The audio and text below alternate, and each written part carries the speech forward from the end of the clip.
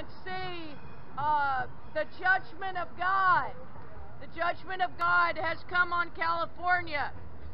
And we don't know when the judgment of God will come to Amsterdam. Amsterdam deserves judgment because this city has sinned against God. And the church is silent. The church is not standing up to the evil in this city and declaring the word of God. They're staying in the closet while the sinners come out of the closet.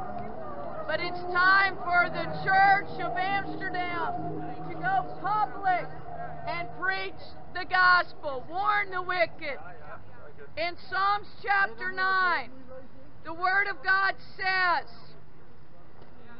Okay, let me find it. The Lord is known by the judgment which he executed. The wicked is snared in the work of his own hands. The wicked shall be turned into hell, and all nations that forget God. Arise, O Lord, let not man prevail. Let not the heathen be judged in thy sight. Put them in fear, O Lord, that the nations may know themselves to be but men. And you know, this week, Miley Cyrus, uh, her house burned down. Miley Cyrus has a song called Malibu, and it is a song about her having uh, a relation with a man she is not married to. It does not matter if you are engaged to someone or you love someone. God calls it fornication. Premarital sex is not okay with God. It is called fornication. And the very first sin that Apostle Paul called out uh, that would not make heaven is fornicators. The Bible is clear that if you are in fornication, you will not make the kingdom of God. So I'm going to go through that tonight.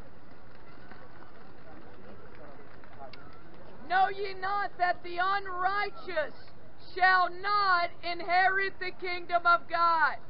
Be not deceived, neither fornicators, nor idolaters, that would be you Catholics, Orthodox, nor adulterers, nor effeminate, nor abusers of themselves with mankind, nor thieves, nor covetous, nor drunkards, nor revilers, extortioners shall inherit the kingdom of God.